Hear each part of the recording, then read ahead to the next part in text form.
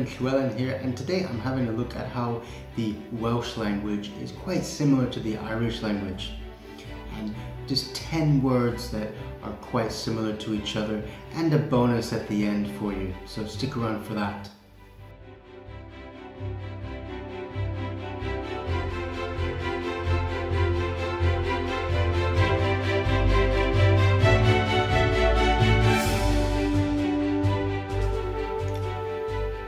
You're new here or if you've been around and haven't yet, hey, hit that subscribe button and smash the like if you're having a good time.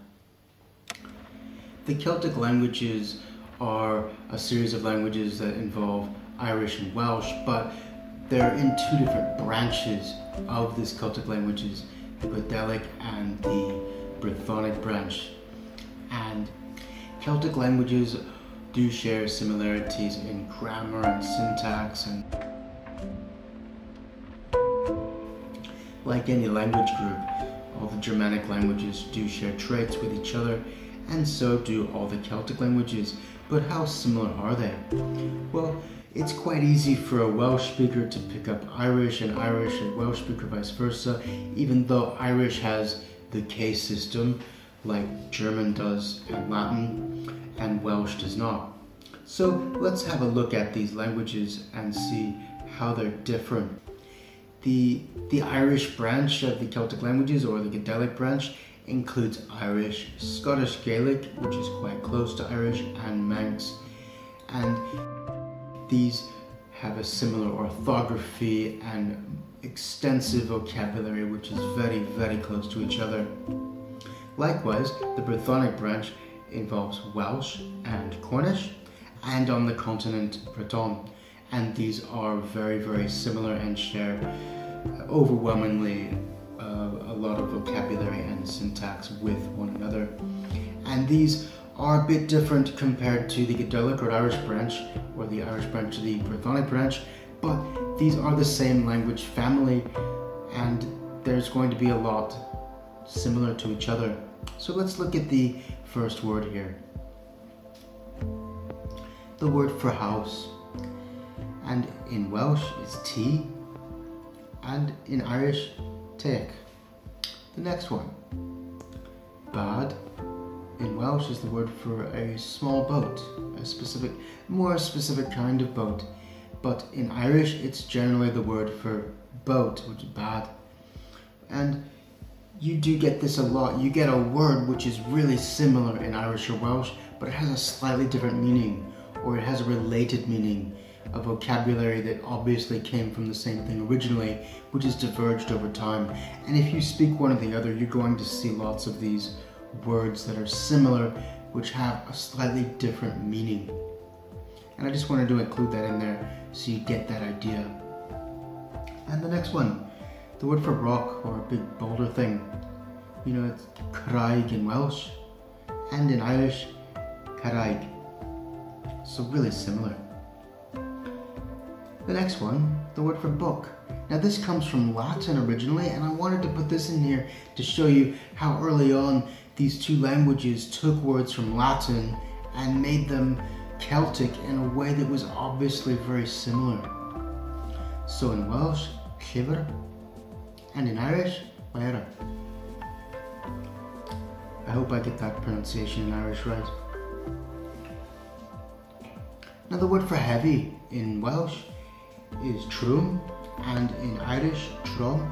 And you'll notice in Welsh here, trom as well. That's because in Welsh we can, uh, there's, there's adjectives which can be masculine or feminine.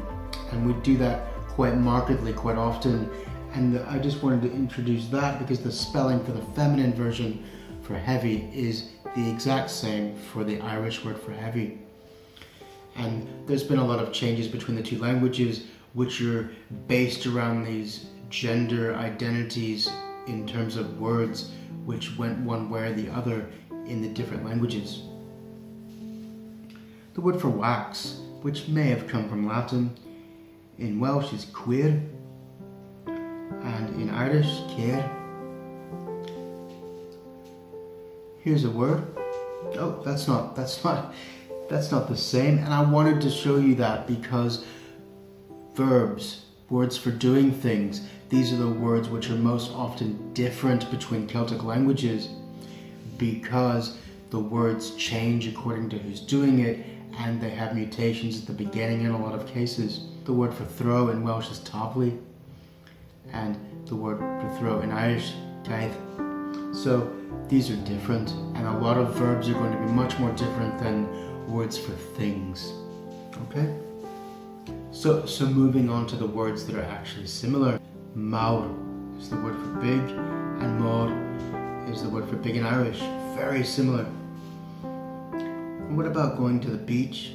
These are very island-based countries. The word for beach in Welsh is traeth, and the word for beach in Irish is traeth.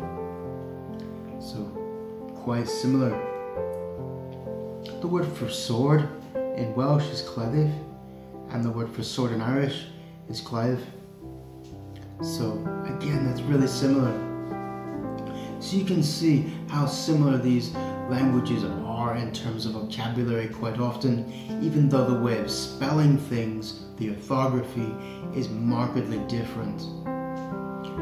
And it's going to be quite easy if you want to learn Welsh and learn Irish it really does help learning one or the other in terms of not being a fluent speaker of one or the other to begin with because it'll give you an insight into how words form, how things form, how things relate to each other because different kinds of words have effects on other kinds of words in all Celtic languages.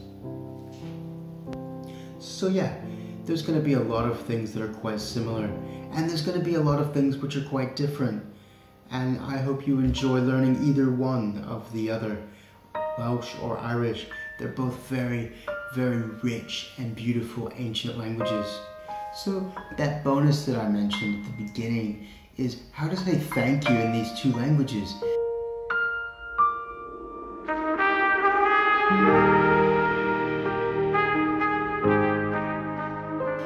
This isn't really related to the other, either one to the other at all.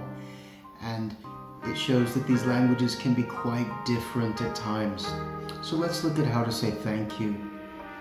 In Welsh, you can say diolch or diolch yn fawr. Thank you very much. And in Irish, Go raibh maith agat. Gorev Matagut. So there you go. Hey, Diolch yn for watching and we'll see you in the next episode. Diolch yn fawr, Go raibh maith agat.